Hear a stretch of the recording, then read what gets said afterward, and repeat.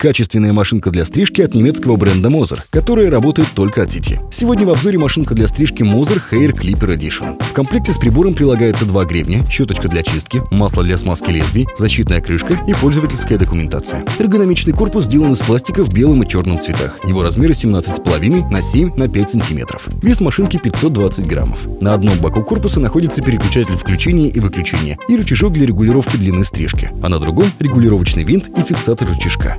Внимание, что устройство работает только от сети. Длина шнура 2 метра. Рядом с ним есть кольцо для подвешивания прибора на крючок. Ножевой блок сделан из твердой углеродистой нержавеющей стали. Двигатель работает со скоростью 6000 колебаний в минуту, поэтому срез волос получается чистым, без пропусков. Насадка гребень идеально подходит для подравнивания. Она приподнимает и направляет волоски для точного срезания лезвиями до нужной длины. В комплекте два гребня. Один регулируемый с установками длины от 4 до 18 мм, другой для стрижки с длиной 4,5 мм. Обычная длина стрижки без насадки составляет около 0,7 мм. После стрижки гребня и режущий блок необходимо прочищать специальной щеточкой из комплекта. Подведем итог. Moser Hair Clipper Edition – надежная и качественная машинка для стрижки, которая работает в бытовой электросети. У нее эргономичный дизайн и два гребня с разными установками длины. А самозатачивающееся лезвие из нержавеющей стали гарантирует долгую работу прибора.